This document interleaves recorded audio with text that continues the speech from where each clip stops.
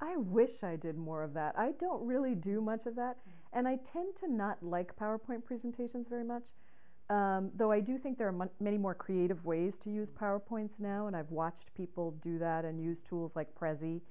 Um, but really, I um, I think partly because I'm looking for the music of words to come through. Um, the the cadence of words is really important. I read every speech out if if it's a major speech. I read it out several times, mm. and I do that with my writing. Even when I'm writing an article, I'll read it out loud because I find that the cadence matters, and particularly when you're speaking. Um, so for me, I'd rather have that music run through um, but I have seen, you know, people use props really effectively, and from time to time I've thought about that. I tend to be a very simple speaker. I don't tend to use a lot of those things.